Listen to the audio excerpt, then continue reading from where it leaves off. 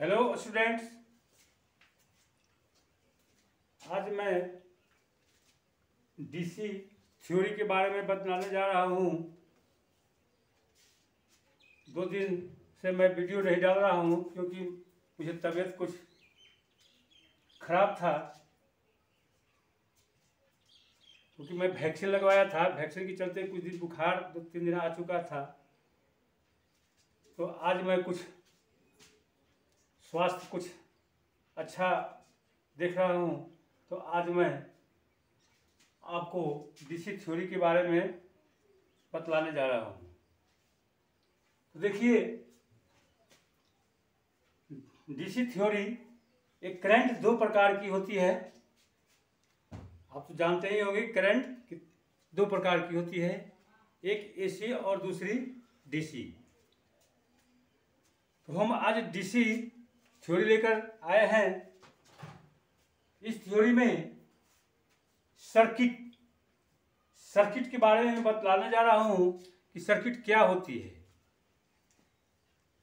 तो विद्युत करंट प्रवाह के लिए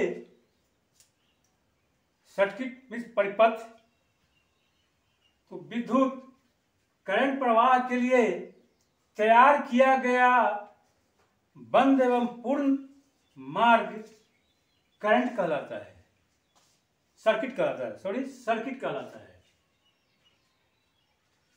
कहने का तात्पर्य है कि कोई भी अगर सर्किट बनाए तो वह पूर्ण बंद हो।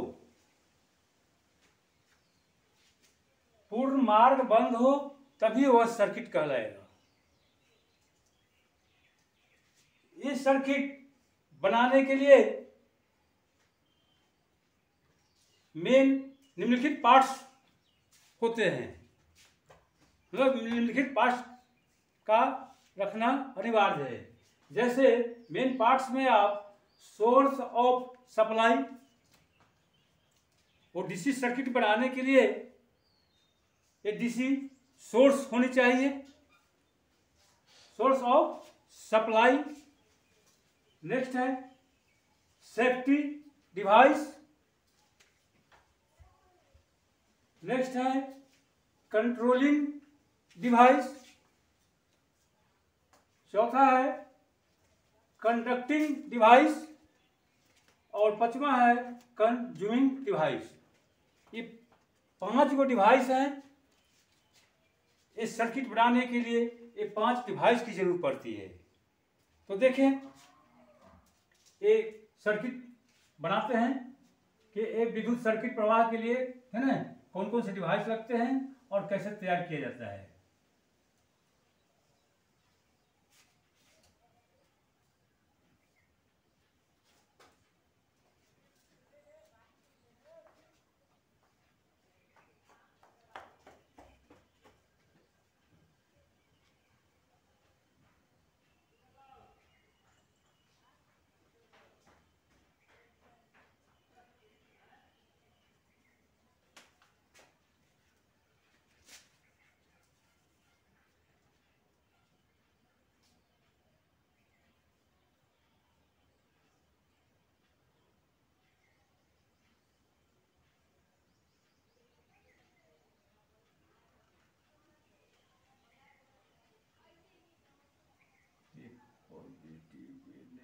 T.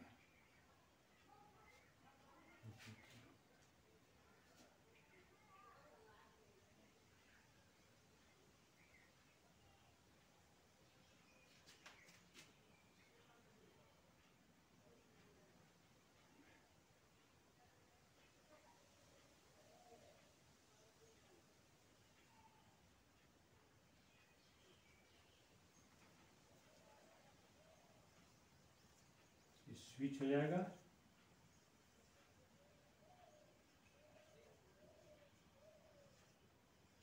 लैंप हो जाएगा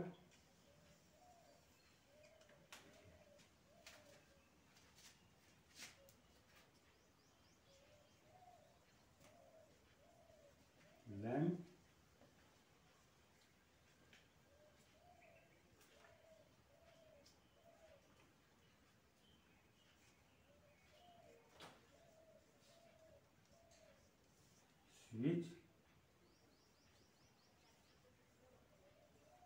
fuse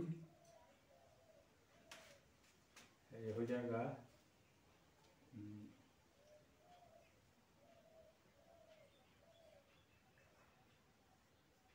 source of supply DC source of supply DC ये जो है, अब देखिए। इस सर्किट मैंने बनाया। इस सर्किट क्या कहता है कि किसी किसी विद्युत सर्किट का प्रवाह के लिए तैयार किया गया बंद एवं पूर्ण मार्ग सर्किट कहलाता है। तो देखिए, ये अभी जो है, ये सर्किट बना है, लेकिन यह पूर्ण मार्ग नहीं है। ये यहाँ देखिए स्विच जो है, वो ओपन है। ये स्विच ओपन है। अभी इसको मैं सर्किट, है ना? पूर्ण सर्किट मैं नहीं कहूँगा। तो इसमें कौन कौन से, ना? डिवाइस है, फ्यूज लगा हुआ है, मेन स्विच लगा हुआ है, सप्लाई ऑफ़ सोर्स है, लैंप है, ये सब डिवाइस है। सोर्स ऑफ़ सप्लाई हो गया, सेफ्टी डिवाइस हो गया, सेफ्टी डिवाइस आपका फ्यूज हो जाएगा, है ना? कनेक्टिंग ना? डिवाइस और कंड्यूटिंग डिवाइस है, और कंज्यूमिंग डिवाइस ये सब लैंप हो जाएँगे। तो वो अब क्या हो गया? अब जो है टाइप्स ऑफ़ प्रॉपर्टी ये इनको चार भागों में सर्किट को चार भागों में बांटा गया है। ये चार प्रकार के होते हैं। जो पहला जो है क्लोज सर्किट जो अभी मैंने बनाया क्लोज सर्किट को ही पूर्ण सर्किट कहा जाता है। तो क्लोज सर्किट जिस परिपथ में है कि जिस परिपथ में उपभोक्ता युक्ति में से विद्युत करंट प्रवाहित हो रही हो, वो क्लोज सर्किट कहा था इसमें उपभोक्ता उक्ति कौन है? वो लैंप है। जब तक लैंप में से विद्युत सर्किट प्रवाहित नहीं होता है, तब तक वह क्लोज सर्किट नहीं कहलाएगा। जैसे यहाँ से करंट, बैटरी से ये पॉजिटिव हो जाएगा, ये नेगेटिव हो जाएगा, है तो इधर से करंट ऐसे ऐसे जाएगी, ये आपका फ्यूज के माध्यम से ऐसे जाएगी, ये स्विच देखिए अभी ओपन है, यहाँ जब हम स्विच को ऑन करेंगे तो स्विच ऑन हो जाएगा और देखिए, अब करंट ऐसे जाएगी ऐसे जाएगी, ये लाइन से होके लाइन रोशनी देना स्टार्ट कर देगा, और वह रिटर्न होके फिर पुनः बैटरी में वह, है इलेक्ट्रॉन्स कहा पहुँच जाएगा। तो यह पूर्ण सर्किट कहलाता है। उसी को हम क्लोज सर्किट कहते हैं। समझे ना? कि क्लोज सर्किट क्या होता है? कि जब इलेक्ट्रॉन्स किसी कंडक्टर के माध्यम से होते हुए, ना, उपभोक्ता युक्ति से करंट प्रवाहित कर कर फिर वह पूर्ण स्थान, पहले वाले स्थान पर पहुँच जाती है तो वह पूर्ण सर्किट कहलाती है। ठीक? अब है ओपन सर्किट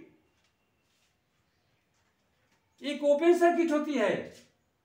ओपन सर्किट में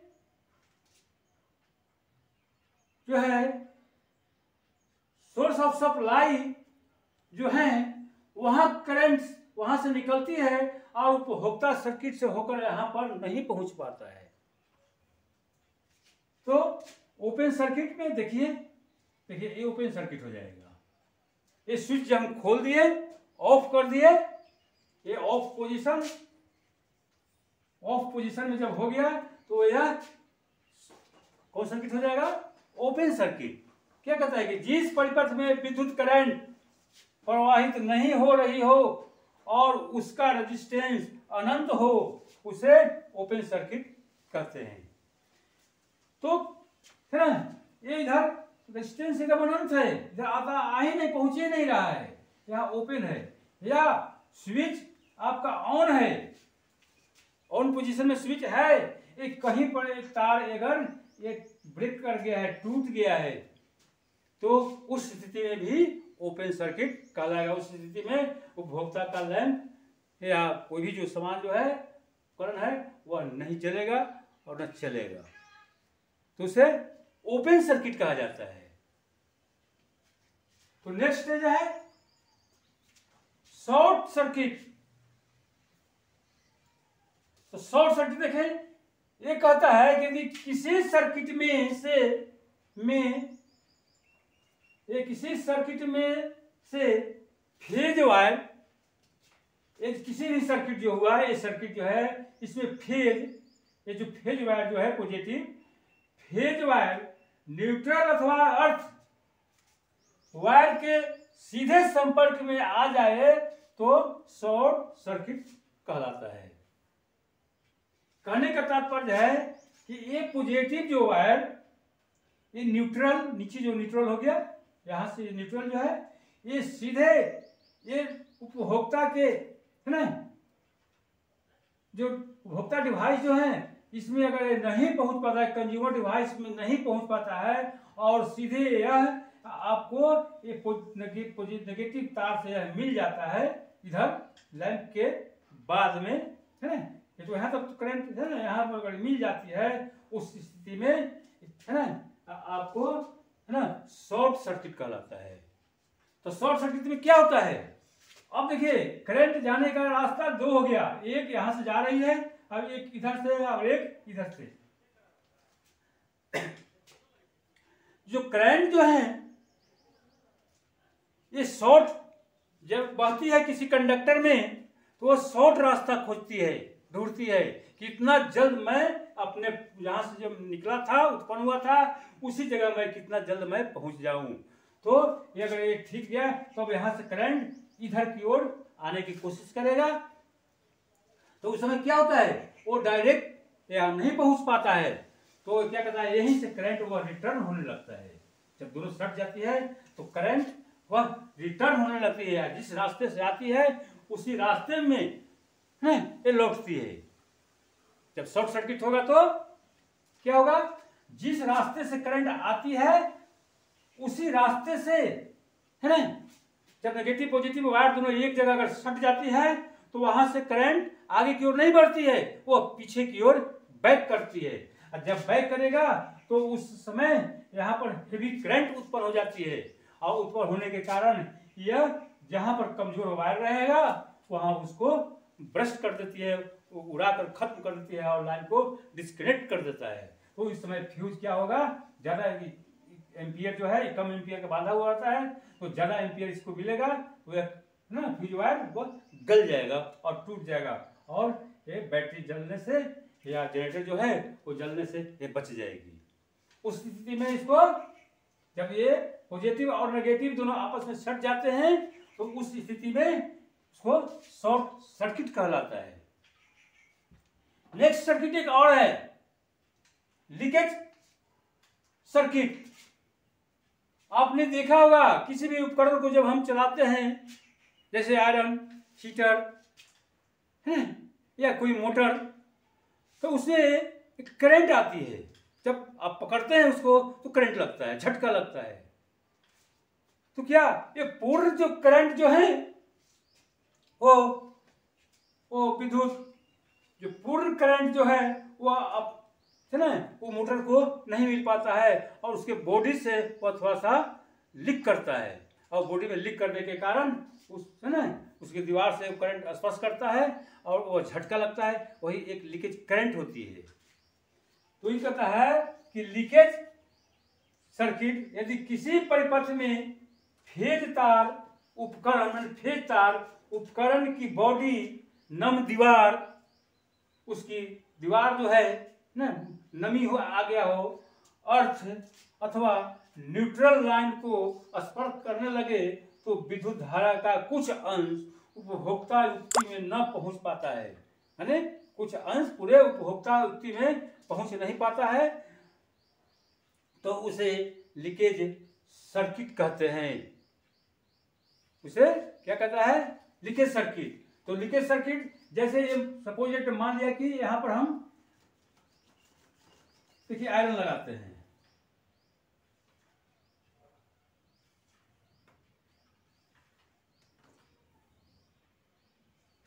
ये आयरन लगा दिया। आयरन लगा दिया? इसमें इसमें। ये क्या होता है लीकेज सर्किट में? तो कि आयरन में कहीं वायर थोड़ी सी अगर ये सट रहा हो तो ये बॉडी में, इसके बॉडी में एक करंट आ जाती है। और जब हम हैंडल पकड़ते हैं तो है ना, और उसको सोल या लोहे के धात्विक जो भाग है, उसको पकड़ते हैं तो वो करंट का, झटका अनुभव होता है। उसी को लीकेज करंट कहा जाता है। तो एक लीकेज सर्किट हो जाएगा। ये चार प्रकार, पाँच प्रकार के सर्किट हैं, है ना? ये पाँचों प्रकार का सर्किट आप डायग्राम से मैंने आपको समझा दिया है है ना? तो आप लोग पढ़ेंगे और देखेंगे, है ना? क्योंकि सर्किट कितने प्रकार की होती है। तो आज का वीडियो मैं यहीं समाप्त करता हूँ।